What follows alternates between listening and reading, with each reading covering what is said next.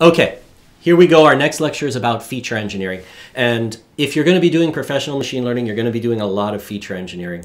You're going to be going between um, looking at the raw data, doing feature engineering, using that model evaluation and creation process that we talked about with an algorithm like logistic regression that we just learned.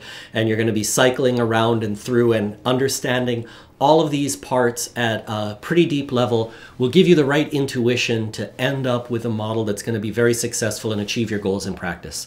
So the goal of this lecture we're going to go through a feature engineering overview and talk about what it is. But then we're going to get into feature engineering with respect to text. And to just give a little aside, you know, as people have used machine learning in lots of different applications over the last decade or two or whatever it is, um, people have developed feature engineering approaches that work well with particular types of data.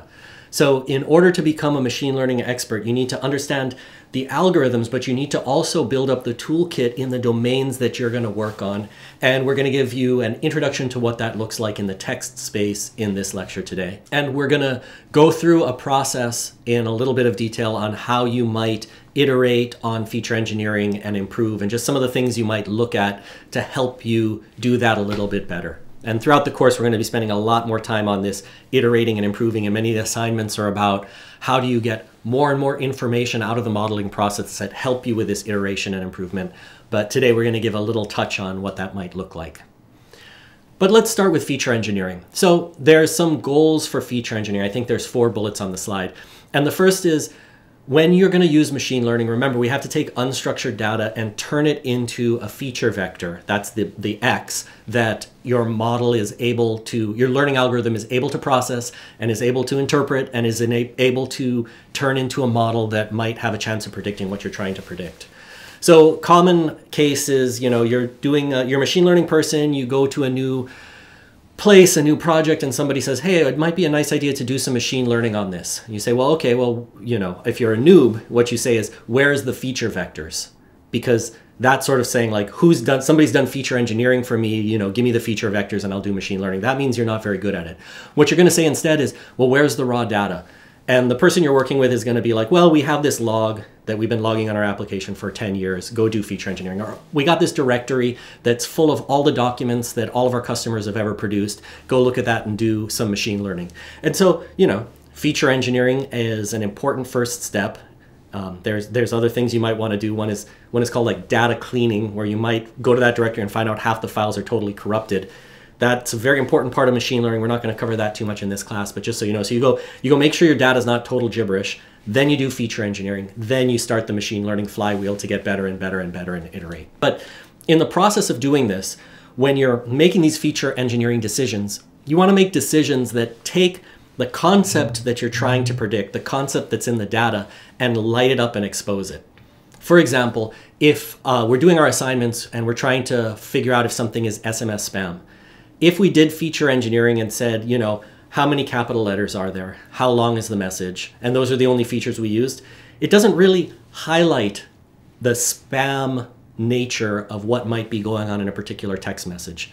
If instead we said, hey, let's look for words like, you know, sale, free, offer, credit card, phone numbers, dollar amounts, things like that, now we've done a much better job of taking the concept of spamness and lifting it out of the raw data in a way that a machine learning algorithm could potentially pick it up. The third goal is that as you're doing feature engineering, you have to realize that each machine learning algorithm is different.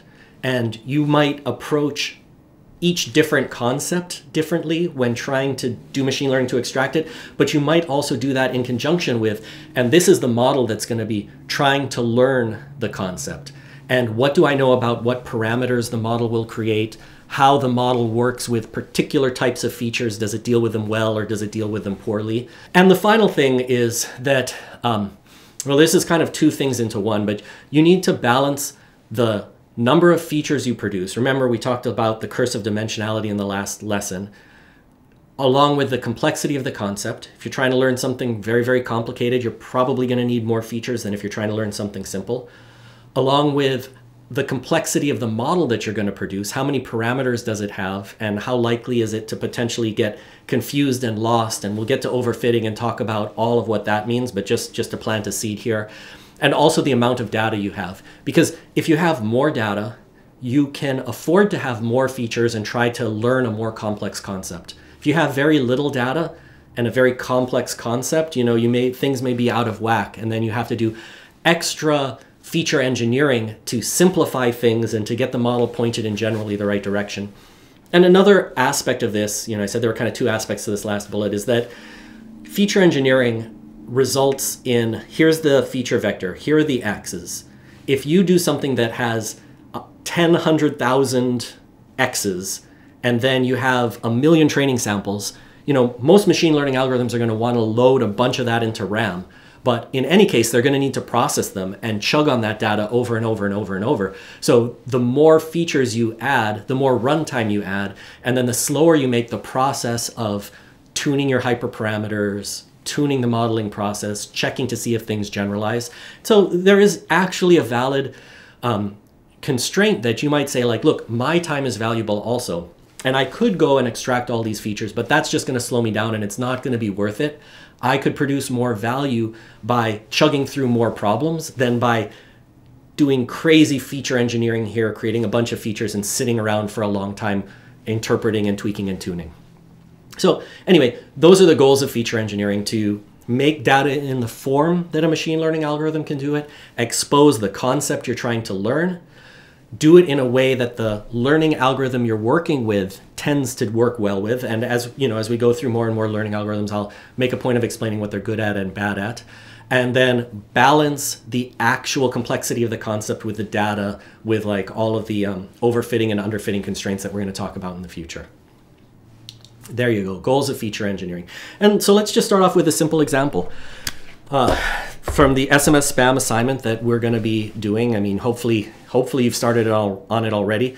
We're a few lectures in, and if you haven't even opened up that file and run, you know, the getting started and maybe the maybe the second assignment, you're probably falling behind. So go get on that.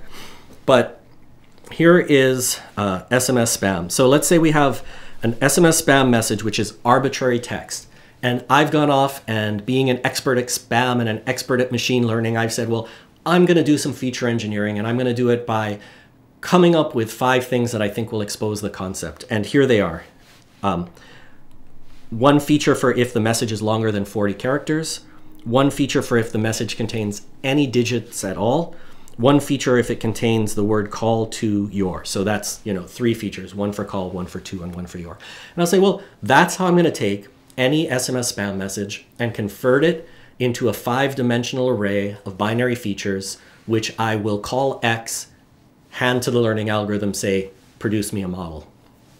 So in the case of, here's a particular SMS spam message that you might imagine, and, and we could go through and perform the feature extraction from this text using this feature engineered set of features.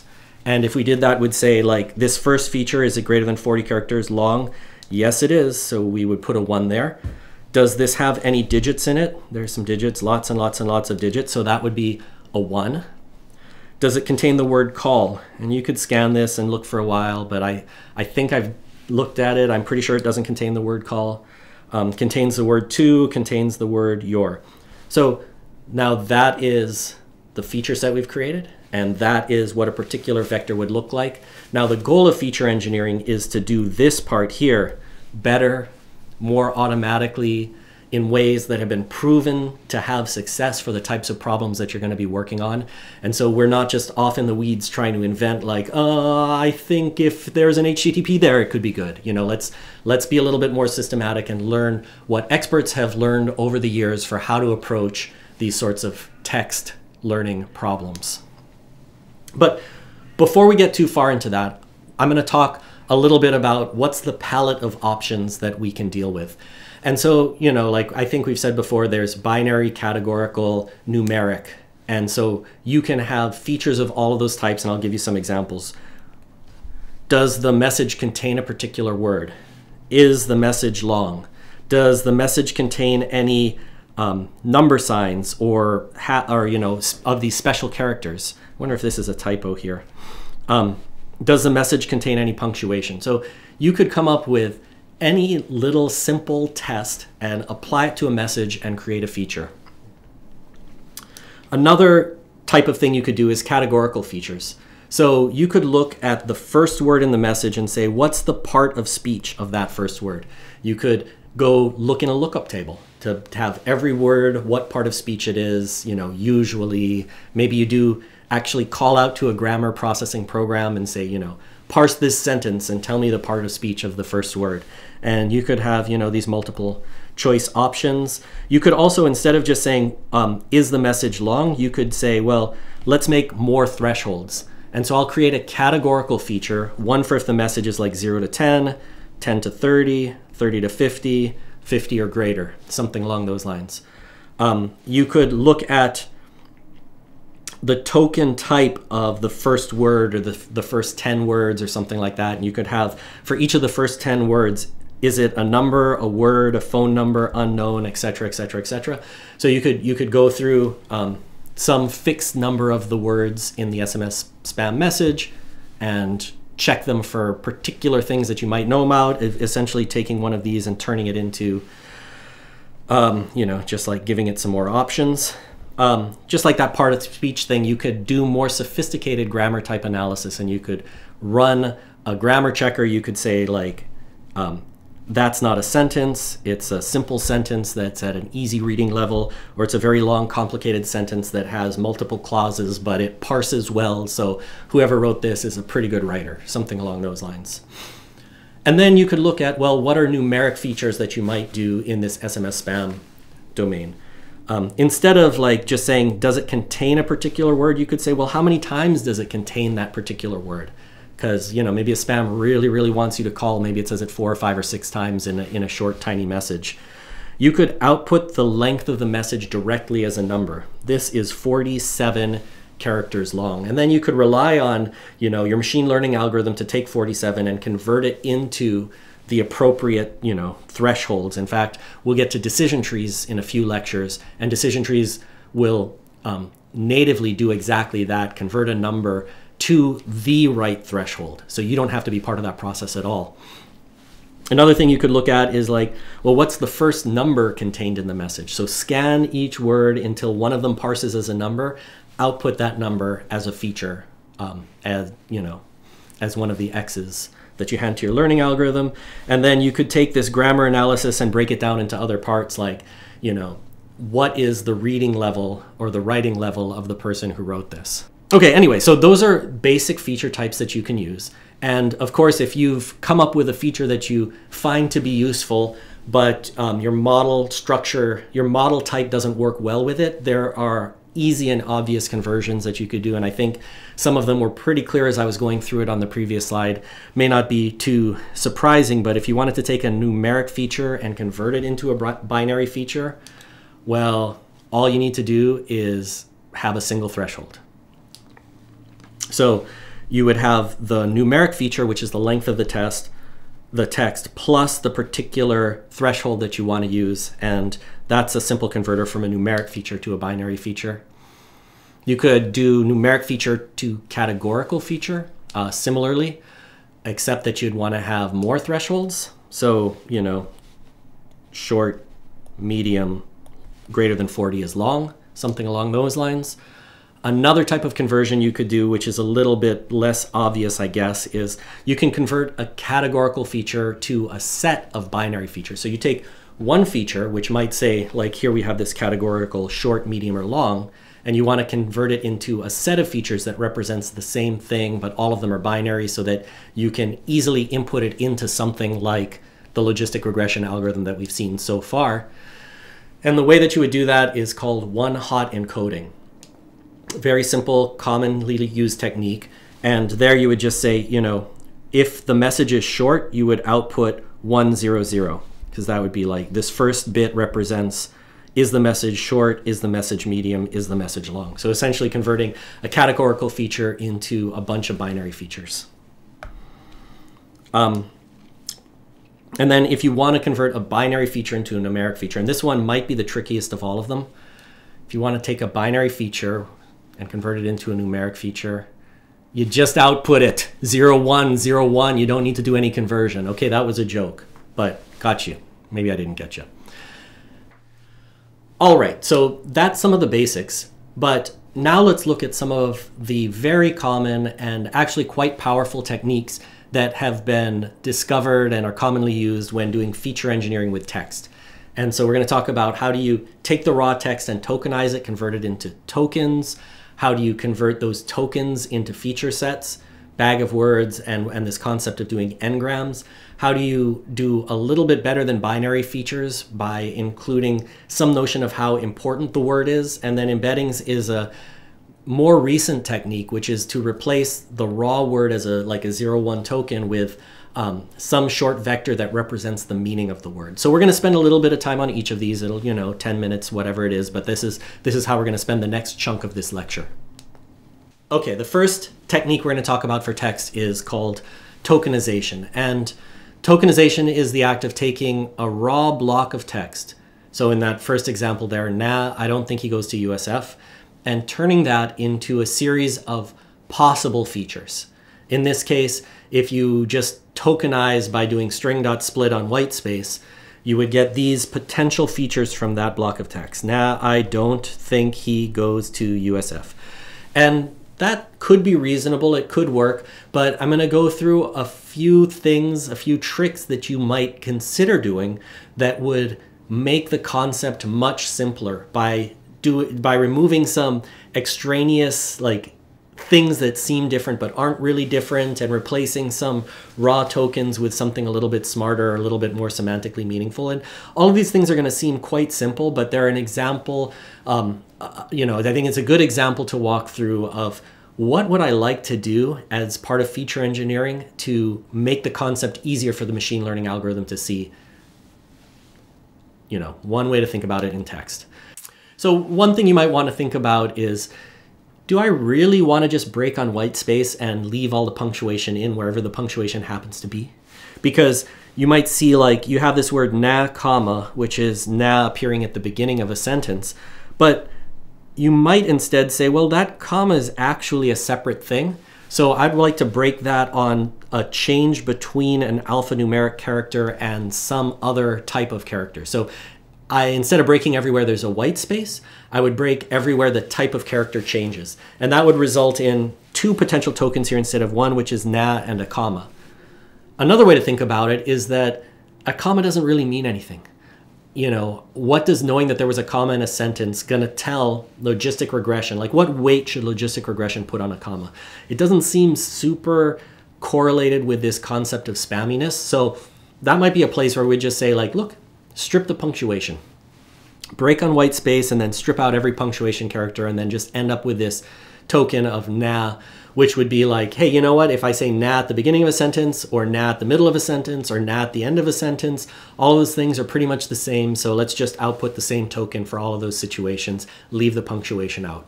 But you might have to be a little bit careful what you do because if you make a decision about how to deal with punctuation just by looking at this one example of punctuation with na, you might forget that punctuation is used for other things too. For example, there are words that contain punctuation in them. This don't. And now, like, if we ignored punctuation and just output tokens, that might be the right thing where we would have outputted the token don't. So na and don't you know, doing better on one might potentially do worse on the other. Um, if we use this like this technique, we would have don, don as a token, apostrophe as a token, and t as a token, just t in isolation. Um, the other thing is if you use this technique of totally stripping punctuation and not even worrying about it, you might end up with something like this, don and t as features. Um, one common thing to do is to apply a little bit of um, in well common thing to do in text learning is to apply a little bit of human knowledge to what's actually going on here and replacing don't with the tokens d o and then n apostrophe t and those contain the notions that it's a do and the negation of the do and so if you kind of keep them together and then and this might also apply to can't, cannot. It's like a contraction, but it, it kind of breaks the contraction, but leaves in the notion that it started out as a contraction. Because you know, like an, another thing you could potentially do is replace this by the features do, comma not, which is you know you interpreting that don't and turning it into the two tokens that it's actually trying to be or it's actually representing. So, okay, these are these are options for what to do, and the right answer might depend on the shape of the concept that you're trying to model. Maybe this, you know, if you're if you're really trying to understand, well, what's the the um, the sentiment in this sentence or what's the deeper meaning you may need to capture all these nuances if you're just looking for spam you know maybe the spammer just puts a whole bunch of garbage there and all of this is too subtle and so then you would choose the thing that creates the fewest number of features and be like, eh, bah, maybe there's an extra 0.001% of accuracy if I did better on that, but I got other things to do in my life.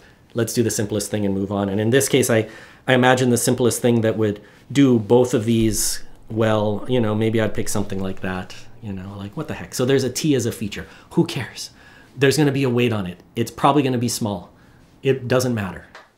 And another thing you might consider doing when dealing with text is to normalize the text, and that is take all that inf extra information about what case the text is in and throw it away. So, you know, it's a simple way of saying convert everything to lowercase. Now, normalization is something that uh, could work well with text because really the, the difference between this and this, all that means is that this word is either a proper name or it's at the beginning of the sentence or something else weird is going on. And maybe knowing that a particular word tends to occur or did occur at the beginning of a particular message isn't relevant to whether or not that message is spam.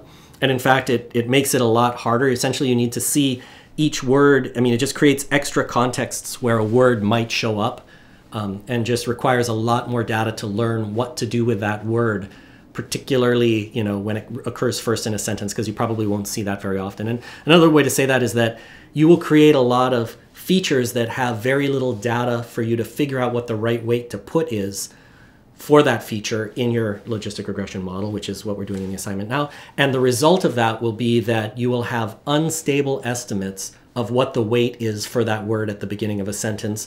And it'll be just like create some problems with your model's ability to learn a concept that's going to generalize well. So normalization can often help with that part of the problem. Um, normalization doesn't just apply to text. We'll see in a few slides how we can apply normalization to, to numeric data, which removes kind of like differences that don't really matter. Another form of normalization you could think about is to take something like this particular string of characters and be like, look, it doesn't really matter if the characters are 1425 or 1427 or 1422 or whatever the heck it happens to be. What matters is that, hey, there's a number here. And another way to think about it is that if you're going to have a separate token for every possible number that you might see in an SMS spam message, the number like 77 may only appear in one message in your training data. That makes it very hard to know what to do with that particular token. So instead of trying to deal with each individual number separately and say, well, what does 14 have to do with spamminess? Or what does 92 have to do with spamminess? You might just say, what does the fact that there's a number at all have to do with spamminess? And that might be a much more predictive feature. Now, again, you know, we talked about different ways you could encode this, and you could instead normalize this as, hey, there was a small number. Hey, there was a big number hey, there was something that like tends to occur in a phone number, you know, or an area code, like a common area code number, or you could you could get a little bit more fancy, but let's just keep it simple and say, you know, standard thing to do when you come to a text is just apply a few of these straightforward normalizations as a starting point. Okay, so there's a lot of options here, um, and let's just quickly go through some tips for saying, well, where do I start? How do I get into the right ballpark before I go off chasing my tail with this optimization loop that we're going to talk about? Um, and the idea is like, if you have really a lot of data, a complicated model structure, a complicated concept, you can do a lot of optimization, keep as much information as you can. Maybe do, you know, the raw thing or, or uh, you know, do, do this thing here and maybe keep the raw numbers something along those lines because hey, there's a ton of data. It's unlikely that if, you know, the number 77 will only occur once, maybe the number 77 will, will occur a thousand times in your data set. And you can start to figure out, well, you know, 77 um, the model will start to figure out, well, hey, that's a small number that tends to be the price of the type of things that spammers are trying to sell. So that's a good thing to put weight on. So if there's a lot of data, don't waste your time doing tokenization and thinking too hard. Let the computer waste its time, assuming that the modeling process doesn't take too long and you know you can afford to give the computer the time to do the work. But if you don't have much data or you can't do much optimization or you know the the concept maybe you do have sort of a lot of data but the concept is actually really much more complicated than the data you have available or maybe you need to learn a simple model structure like logistic regression but you know the concept is actually a lot more sophisticated well then it makes sense to invest more human effort in normalizing the features make them much more easy for the uh, for the learning algorithm to interpret. You do the work so that it can focus its capacity on the parts of the problem that humans wouldn't really know how to think about, like, hey, here's 100,000 words which we need to jointly balance and figure out what a consistent set of weights are to do the best job of separating spam from not spam. Computer's good at that. Computer isn't good at figuring out that, you know, particular types of numbers which it only has a few observations of may mean something I mean, you, you know more because you're a human, you have a brain, you've been living your whole life, you kind of have a lot of context. So try to encode some of that context through the tokenization process when you don't have enough data or optimization or model power to let the computer do it for you. And then the other thing that you really do want to do is that um, focus what features you produce on the concept. That was the second. Let's just go back to this bullet. I, I stopped and paused. Let's just do this one again. So here we go. And the other thing, you know, I've, I've sort of said it several ways, but oh, let me get my head out of the way there. Oh, look at that. These buttons down here. They're so cool. Here, look, I got this. Uh, here, can you see? I got this thing. I can press the button like and make me, yeah, there you go. So anyway, you want to focus your features on things that are relevant to the concept, that make the concept pop. And, you know, we'll talk a lot more about this when we get to overfitting and underfitting, but, you know, it's just a, a simple thing to think about is that if you expose features that are totally unrelated to the concept you're trying to learn, occasionally they're going to trick your learning algorithm into thinking they are important. And so if you know something is not relevant, take it out. Don't give the machine learning the algorithm the task of like figuring out that hey that thing doesn't have anything to do with it or oh shucks you know by by chance it looked good so i learned a model that's completely sort of crazy. Okay so that's tokenization. So we can take any block of text and turn it into a bunch of tokens which are potential kind of like proto features or things we might like to make into features in one sense or another. Now the next question you might ask is well, well what should those features be? You know and it, it's simple to say well we can have a binary feature for a particular token. And that's kind of where we're heading and bag of words will talk about that. But we're going to see first this bag of word technique then we're going to see a couple other techniques how you might do something a little bit different and take a token and not turn it directly into a zero one feature but let's just give a quick example for bag of words and that's just a technique essentially what it says is bag of words is take every token that you've seen in any message in your training data not in your test data not in your validation data just in the training data. Remember those those other sets don't use them at all in the like what should the model be process. Don't use them at all in feature engineering process. If you can help it, training data. So we say every token in the training data, throw it into a big bag. That's a bag of all the words that you have in the universe of things that you know about. And each of those words turns into a feature. And so just like a quick illustration of that, you know, here's all the words that occurred across all those four messages. And you can see some of them are sort of duplicated. Some of them are only appear in one of those messages. I think I didn't quite test it through, but basically it'd say for anything that's in that bag of words, all the words that occurred in your training data, that's the bag, the bag of words, you're going to produce a feature. So in this case, that works out to, oh, well, I mean, that's like, there you go. You can say features, but you'd rather look at me than that. At least my mother would. I don't know. So you have these are the features that you produce using the bag of words technique, which is tokenize everything. Everything that comes up with a token turns into a feature. one feature per unique token in the training data. So let's just go through that example in a little bit more excruciating detail. so here are the selected features from this training set. Then we could say for message one, you know, message one, because these are the features we've created, each message has 10 um, dimensions, 10 components to its x vector, to its feature vector. X1 represents the word A occurred in that message. So in M1, you know, A appeared there. I guess we've done normalization. so we'd say one. Um, word, word occurs there. So we'd say one of, oh, this one's pretty easy, of text. So it looks like we did normalization where we remove punctuation. Good to know. And then the rest of these would all be zero. Zero, zero, zero, zero, zero, zero. And so that's how we would turn, use bag of words to turn that training data into a training set, and this would be the input to logistic regression. Now, at test time or validation time, you might have some other message, and the message might be some, some features for a test example. So now we would have to turn this into a feature vector using this exact same mapping that we produced at training time. You don't want to introduce any new features or anything along those lines. So I would say some, so the first word is A. This guy definitely contains A.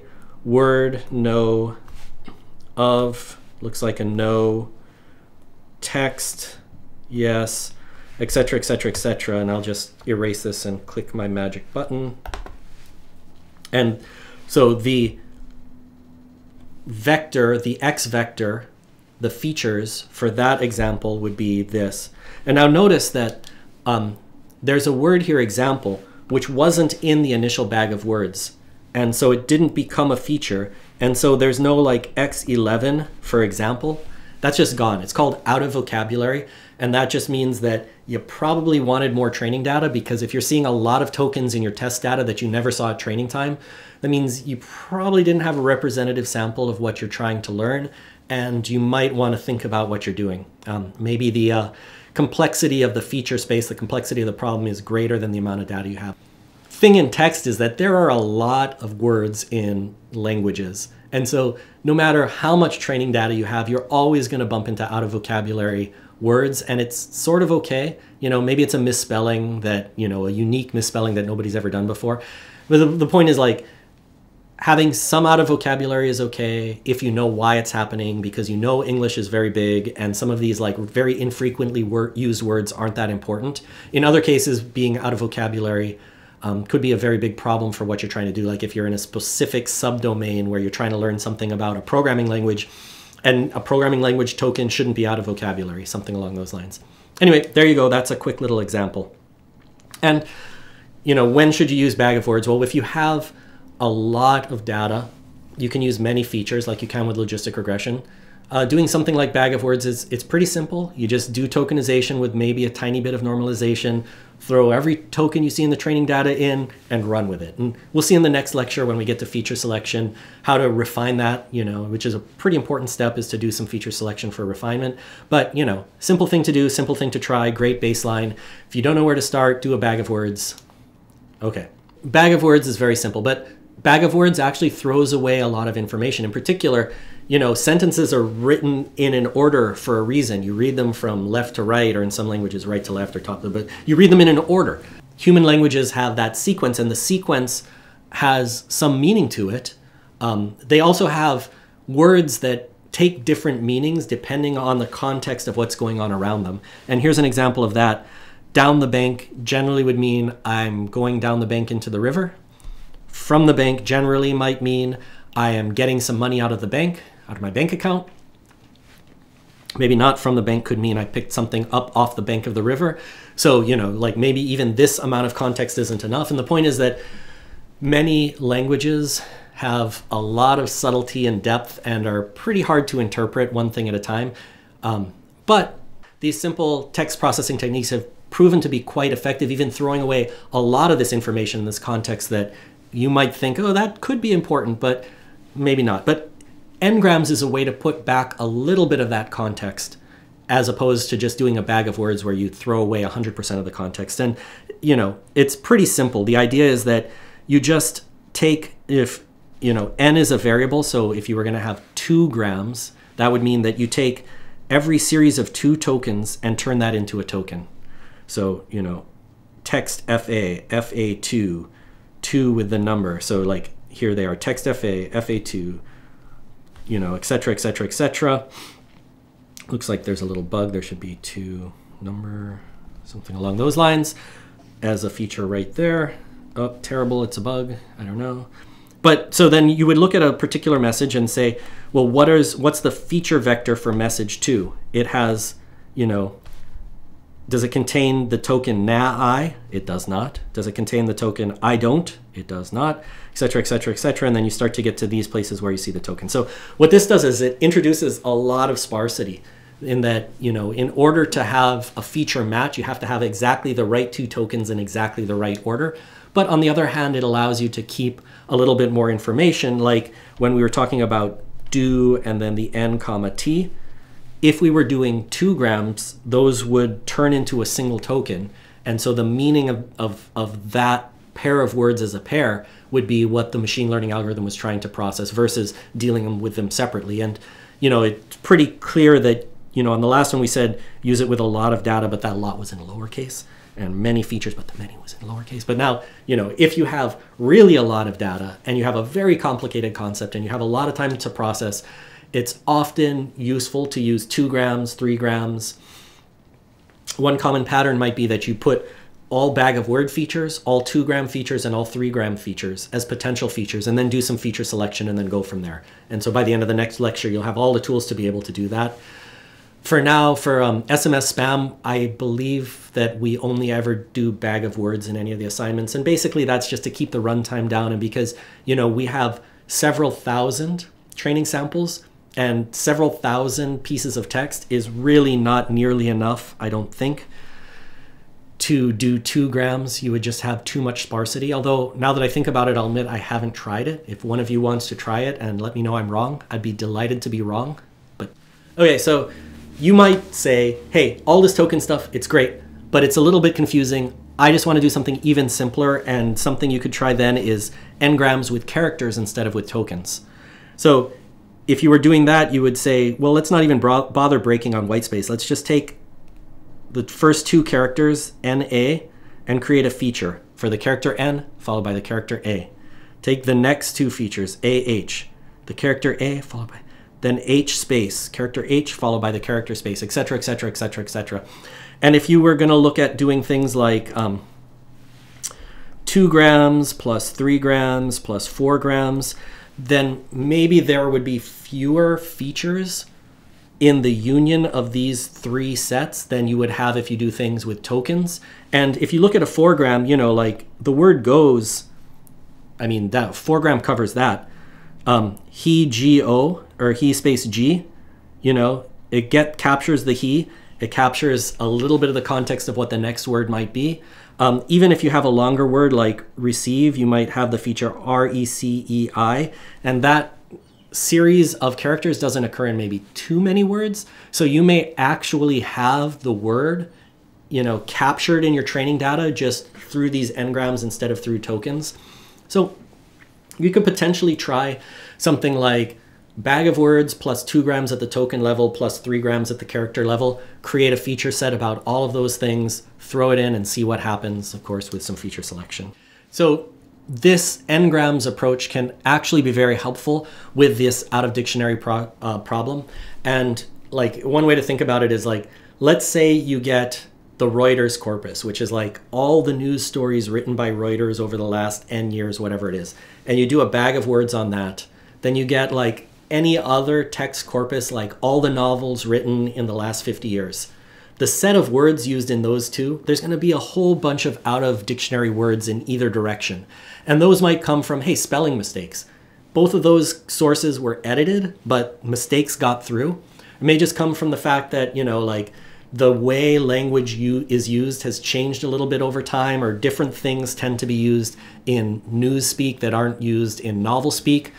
But um, these slight tweaks to words and tweaks to spellings might show up in the n-gram. So you may have more hits. You know, I mean, you'll certainly have more hits across the dictionaries and the um, the feature sets, and those hits may actually be semantically meaningful, particularly in the case of spelling mistakes. You know, one character spelling mistake doesn't change the meaning; it's just like an error or some noise in your data. Um, right. So fixed number of features for a given n. So you know, two grams. That's 26 times 26 possible features for the you know the two characters. So it's a it could be a large number, but it's a lot smaller than every word in the dictionary. Okay, so those last few techniques, tokenization, bag of word, n-grams, character n-grams, those are about how to take um, the things that appear in the document and have binary features for like, did that occur or not? But sometimes you can do better without even getting to the training stuff. You can include in the feature some notion of how important that word is or how predictive or how unexpected that word is. Because you might have seen in some of the examples, the word to appears everywhere. Having the word to in a message is not hyper predictive of really maybe anything. But having a slightly more domain specific word might be very predictive. Anyway, one simple technique that's commonly used in information retrieval is to do the um, TF-IDF score of the word rather than do the presence of the word and have that be the feature that you output. So that stands for the term frequency times the inverse document frequency. So instead of using a binary count uh, binary feature contains word, whatever the term is, use the numeric importance score of the word to the message and the corpus. A corpus, I've used that word twice now. Now, corpus is a common term for the set of text documents that you've processed to create your features. So that's a sort of a specific to um, text processing, although it spills over a little bit. But if you're dealing with text, people are going to say corpus, corpus, corpus, corpus, corpus. That's all the documents that you process to create the features that you're going to use. So you'd say use a numeric importance score of the term to the particular message and the term to the corpus. So you would say the term frequency is the percent of words in the document that are term. And it would be like, how important is this particular term to the document? So if the word like sale appears three times, you would say, well, sale isn't just a binary, it was there. You'd say sale is actually important to this document. So let's give that a higher score for this particular document. But you would then balance that by the notion that um, the uh, inverse document frequency, which is the number of documents in your corpus or the number of documents in your training set, divided by the number of documents that contain the term. So if there was just one spammer who was trying to sell like some antivirus product with a particular name versus every message containing the word to, you might want to handle those two things differently. Here's the little math to it, and, and if you plot that, you would see on the x-axis the percent of documents containing the term, and on the y-axis is the inverse document frequency score.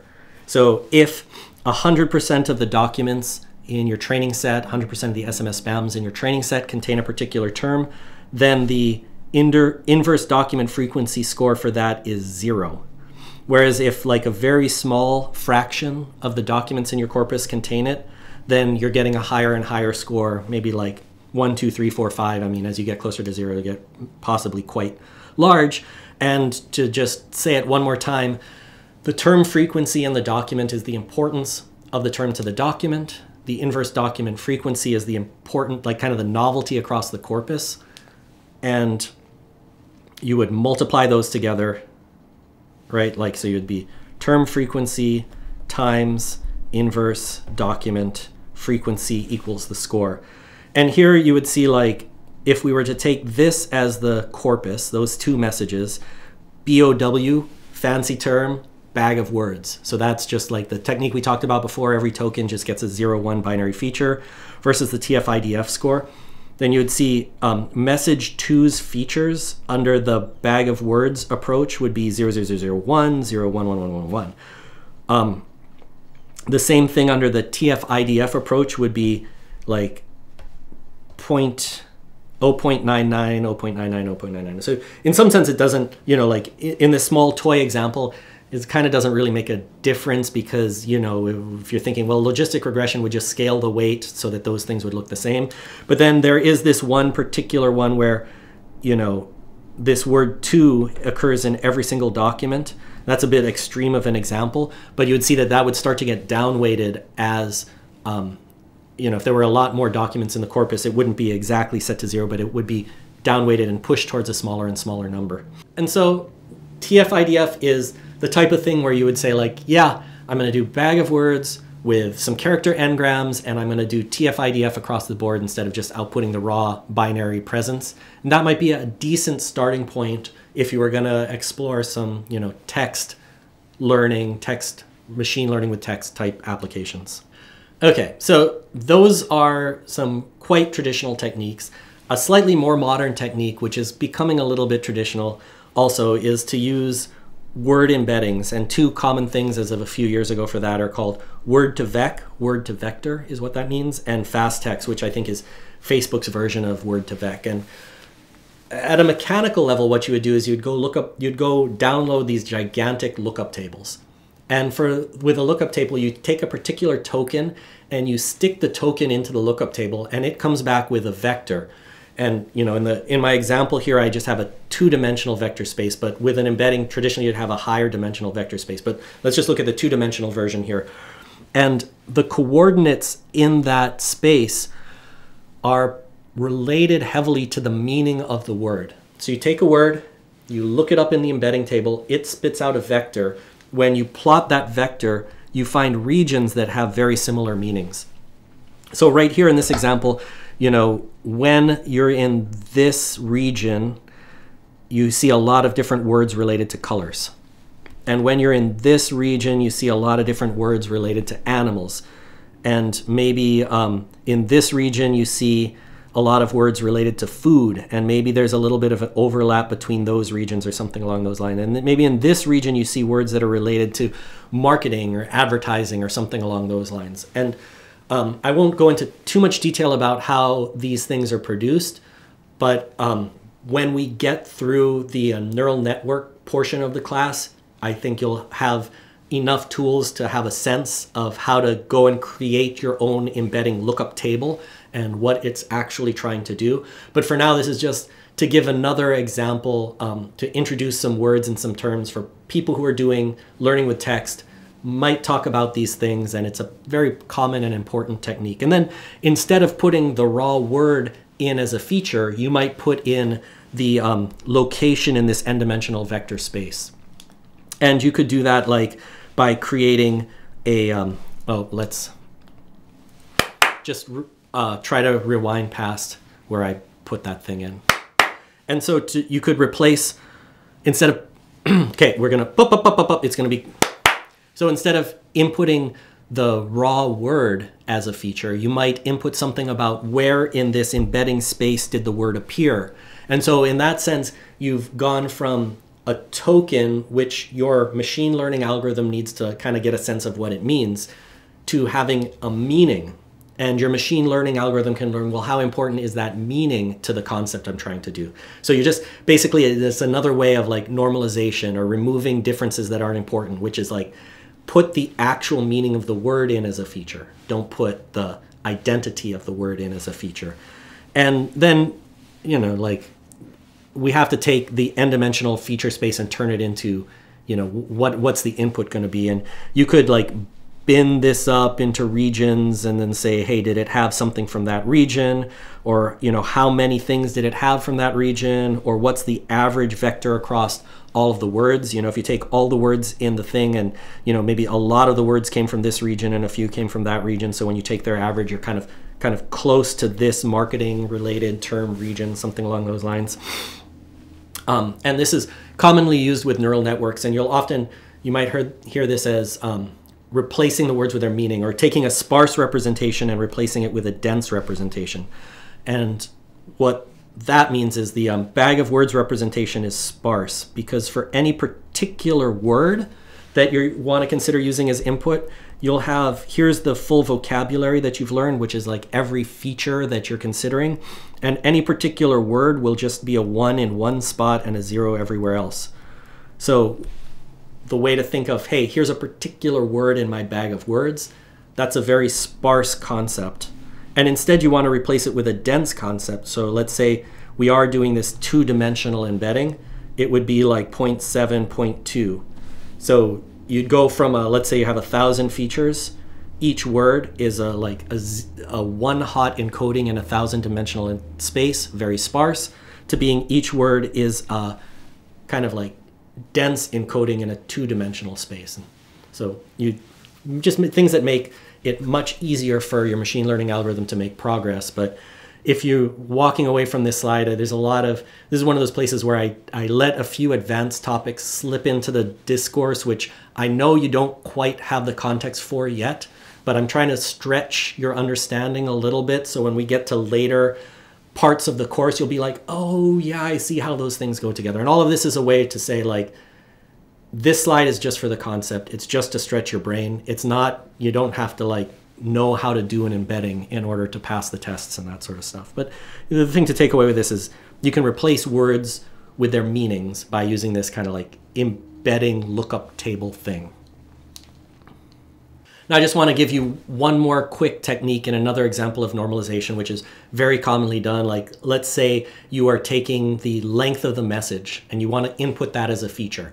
Now remember that logistic regression is going to learn a um, a weight for that feature value. So it might learn 0.7 times the length of the message and then add that with everything else, et cetera, et cetera, et cetera, et cetera.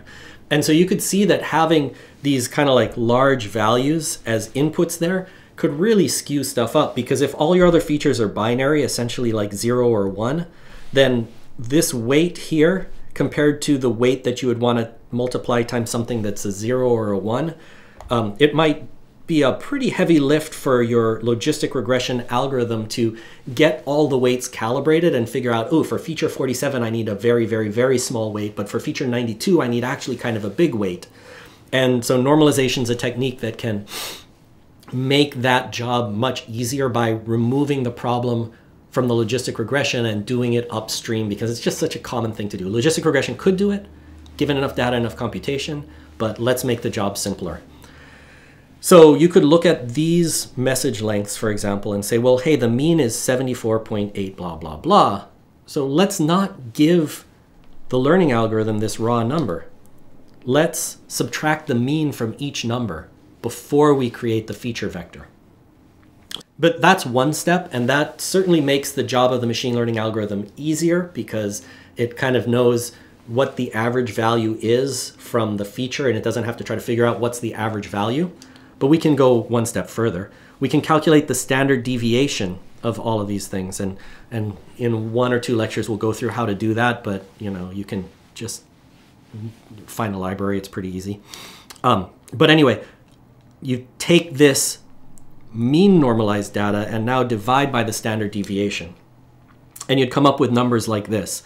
And so you could see that like this negative 1.31 now means something very specific. It means that the value there is negative, so it's less than the mean, and now we know how far below the mean it is. It's over one standard deviation below the mean. So that means it's a pretty small value in the scheme of this data set versus all of these other ones that are like 0.02, 0.2, 0.07, those are messages that are pretty darn close to the mean. Maybe they're a little bit over it or a little bit under it, but that doesn't matter too much. And now if you think of a logistic regression learning a weight, you could see how the weight would have to encode much less to capture something actually quite interesting. Like, hey, here's a message, you know, like if as the message gets much, much longer than the average, that would add more weight, which would tend to make something seem more spammy. Okay, and why would you want to do this? Normalization, just like in text, you can help make the machine learning algorithm's job easier. And I think this is a pretty clear example of, you know, what you know about logistic regression right now. You could see how doing this type of transformation would make it significantly easier for logistic regression to figure out how to incorporate numeric features with binary features. Now, you don't have to implement numeric features for logistic regression for any of the assignments, but this is just like you know, if you were going to do in practice anything, with logistic regression, you want to normalize. But that's not the case for everything. Some model types do a pretty good job of dealing with numeric features without requiring you to normalize. The very next one that we're going to talk about, decision trees, is an example where the model itself learns thresholds that are predictive and it doesn't really care. So you can normalize for a decision tree, but to some degree, you're, you're, slightly wasting your time and you're making things more complicated and harder to interpret on the downstream side, or you know, arguably harder to interpret. But when you're doing like regression, logistic regression, probably want to normalize numeric features. and then to use it in practice, it just requires a little bit of extra work and telling you this just as another example separate your usage of training data from your usage of validation and test data. And in this case, you want to estimate the mean and standard deviation just on your training samples. You don't want to use the validation and the test data to estimate the mean and the standard deviation. But it also means that the estimates of the mean and standard deviation for each feature become part of the model that you need to ship when you ship your model because you want to say when you see a new sample in practice and you're trying to imply my model, well, here's the normalization parameters I used at training time to create feature number 42. You need to bring those along with you because at runtime you won't have the information to do the same normalization unless you carry those on with you. So yeah, you need to you need to store them and pass them around and that's a slight complexity, but it's generically worth it. So there were some techniques for doing feature engineering that allow you to take raw blocks of text and turn them into interesting feature vectors. So when you approach a new problem, you're going to want to take some of those techniques and apply them. You're probably not going to want to take all of them and, and apply them because there's a lot of them and you could spend a month implementing. I mean, you'd get a library and the library would do it for you. But even when it's easy, one thing to know about machine learning is that you don't want to throw the kitchen sink at a problem right from the get-go. It's often better to get your end-to-end going, to do a few runs, and then to look at what's going on and let your intuition and the measurements that you're taking guide you towards success.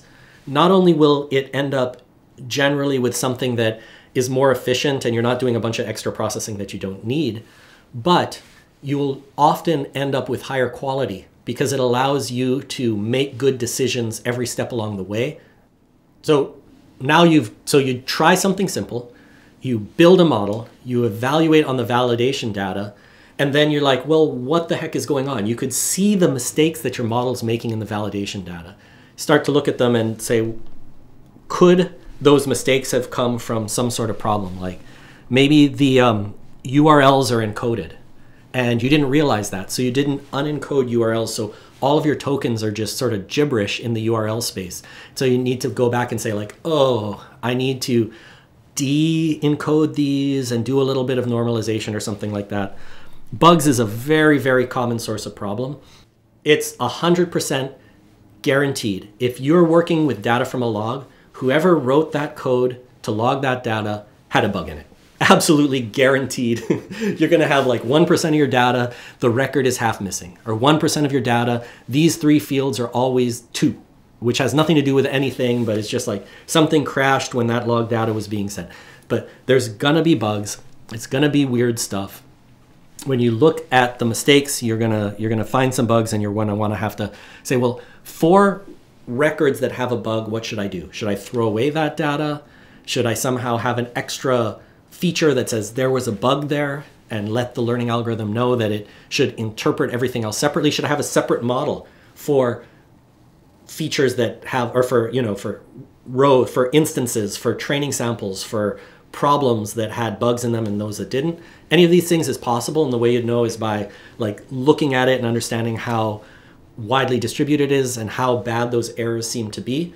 Another thing you could try you could try to get the bug fixed but that doesn't always help you because a lot of times you might have years of data logged that had a bug present. And those years of data are extremely valuable, and you're going to want to extract what you can out of those.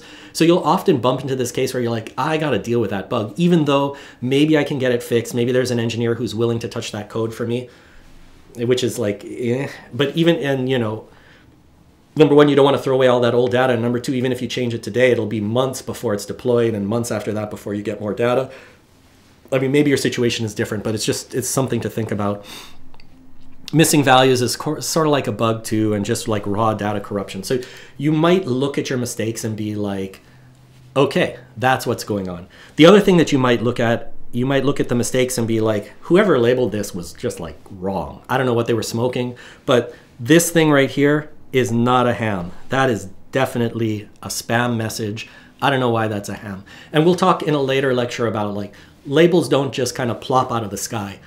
Every label was generated by some process. Sometimes the process will involve looking at how a user interacted with a product, and the label will be sort of an implicit outcome of the interactions, like the user did buy that, the user didn't buy that.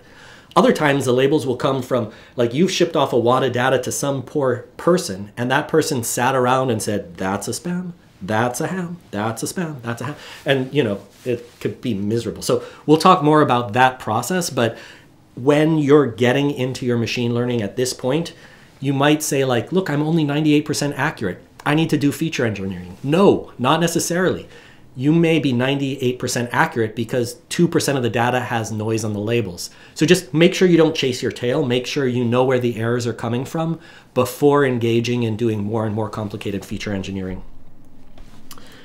Yes.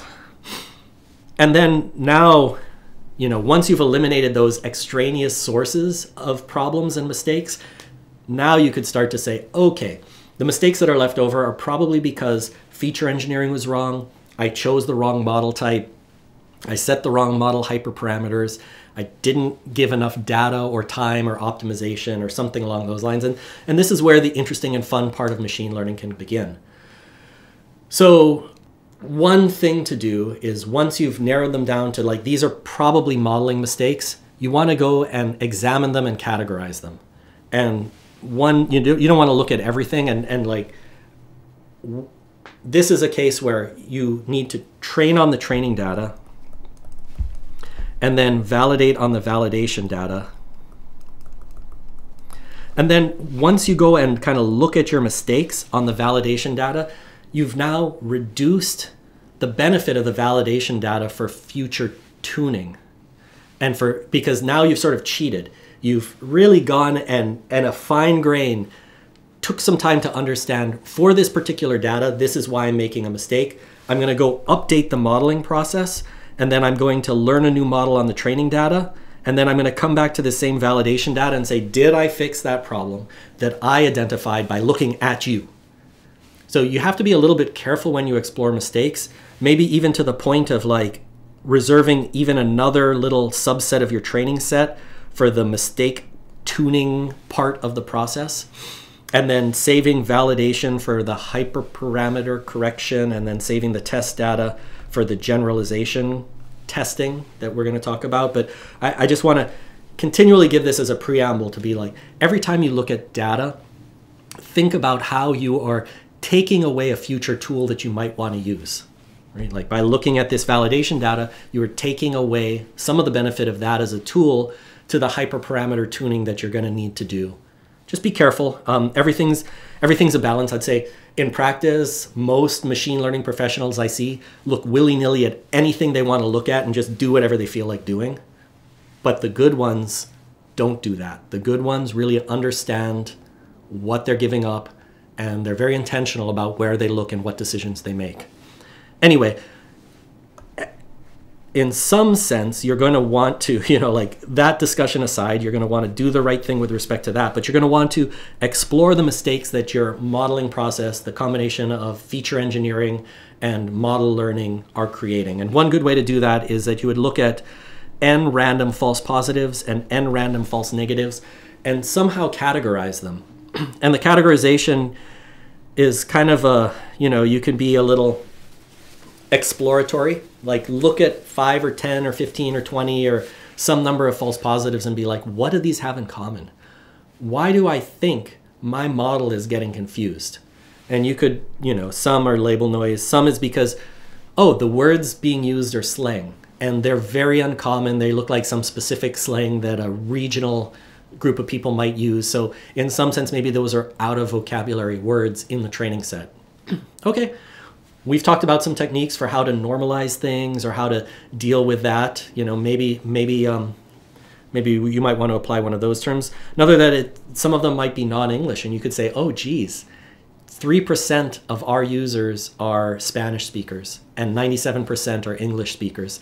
And so, doing all of these techniques that we've talked about with the data being so heavily kind of skewed towards English speakers mean that the the weights on these Spanish speakers' messages are very, very, very small in the logistic regression model. What would you do then? Maybe you would split that into two problems. Maybe you would, uh, you know, go get more Spanish data. There's a lot of options, but the point is you need to know what a problem is before you can go fix it. And blindly tweaking n grams, two grams, four grams, 32 grams, um, when the real problem is that you know the mistakes you're making are all on German messages, might not be the right way to go.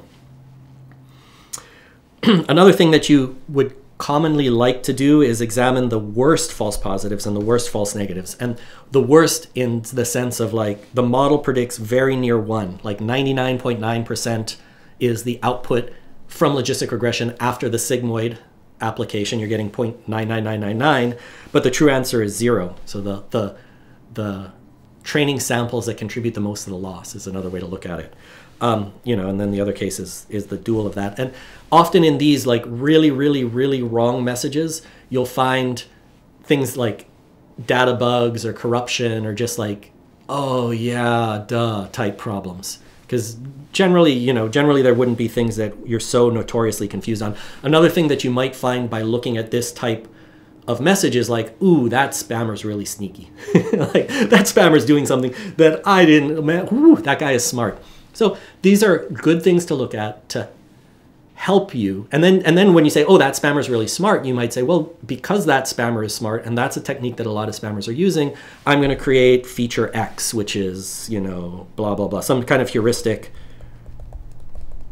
I'm writing behind my head. Some kind of heuristic that didn't help to detect whatever the trick the spammer happens to be doing is. So um, and the, the reason I'm, you know, just belaboring this, belaboring this, belaboring this, belaboring this is that machine learning is an iterative process and you have to like get good information at each point in the process and use it wisely and um, really take the core insight that you discover through this exploring the mistakes process figure out how to express it in a way that will generalize well and that your machine learning algorithm can pick up and not create a bunch of brittle things that the machine learning algorithm like just only really work for that particular sample, for that particular instance of the mistake. You want to like look across a bunch of your data, take a step back and be like, ah. And let's just go through that one more time, walk through what that process might look like. So you would start, if you come to some new text processing problem, you would start with the standard for your domain. And what I mean by domain is text processing versus computer vision versus whatever else domain you happen to be in go learn the equivalent techniques to what we've talked about here. And you'd start with the standard one. So in this case, you'd tokenize, break on white space, maybe strip, pump, strip punctuation, break on white space, do bag of words, maybe also add in two grams at the word level, something like that. That's basic. But you would do it in a way where you have one parameter per 10 samples. What does that mean? just think of like if this were a test question do you understand what those words mean and and know kind of what that one parameter so i'll just give a quick explanation. So with logistic regression for each feature you have one parameter which would be the weight and each sample this is another word for training data. So you'd have one feature per about 10 training samples would be a good amount so that in general the um, logistic regression algorithm can learn what to do with each of those features. But it's just a starting point. Then the next thing you'd want to do is try um, all the important variations and evaluate on the validation set. So if the very first thing that you tried gets your accuracy high enough, you might just say, hey, I'm done and move on, but you probably would want to tweak, you know, take, um, take n grams from two to three and see what happens.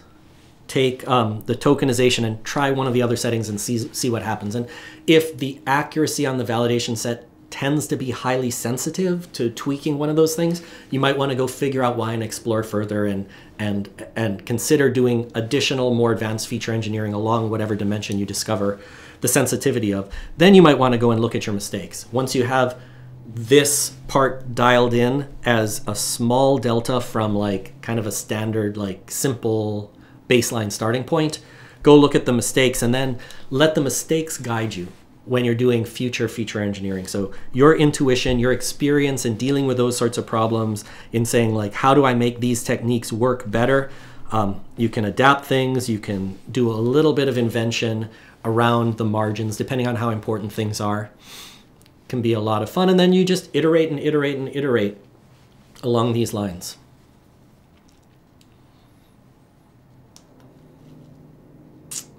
And then when you're done iterating and you're like, I have a model I might consider deploying, evaluate on the test data and see if you're fooling yourself or if all of the work that you've been doing up here is the type of work that generalizes well to data that you weren't very intimately familiar with while you were doing the modeling process.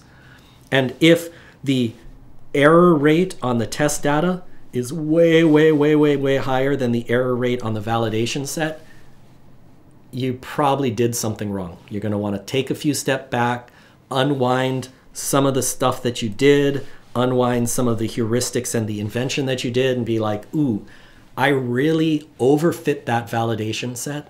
I hyper tuned towards the data I was looking at. So let's just unwind some of that work and see if we, uh, when it's unwound, we do a little bit better at generalizing to test data. And also in the next lecture, we're going to talk about feature selection and a feature selection would go like in like at this level or maybe after this level. We're going to get to that and fe what feature selection again will do is it'll take like, hey, I got this gigantic bag of words. Let's do feature selection to pare it down to the 15 that matter the most. Something along those lines. Wow, there's a lot of latency on that 15. Whew, that was a slow one. All right.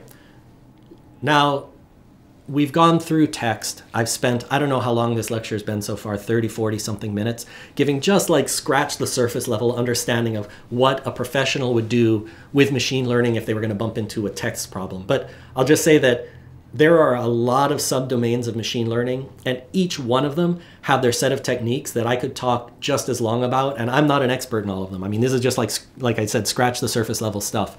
Um, in computer vision, you would do things like taking gradients, and we're actually going to talk a little bit about computer vision, but you'd say like, hey, here's an image. Where is there a, a, a, transition between a light part of the image and a dark part of the image?